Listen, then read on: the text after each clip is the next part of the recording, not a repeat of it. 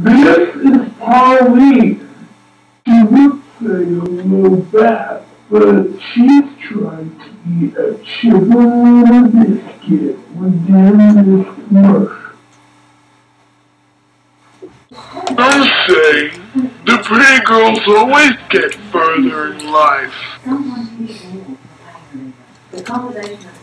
There's nothing pretty about chocolate.